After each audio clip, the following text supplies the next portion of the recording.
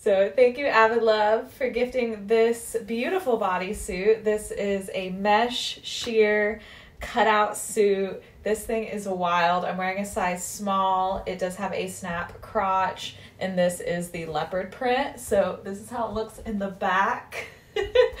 this is a statement piece. So I don't have a skirt with me, but I'm just going to throw on these shorts so you can see what it looks like when you are wearing some bottoms because obviously I don't think we're going to wear it on its own.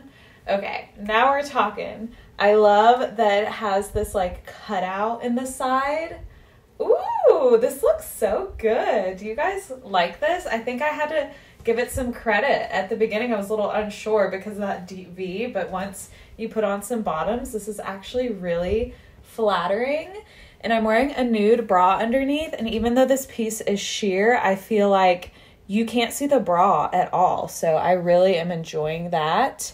It is polyester and spandex, so we do have some stretch to it. I also really like how it covers the arms so much. It's very elongating.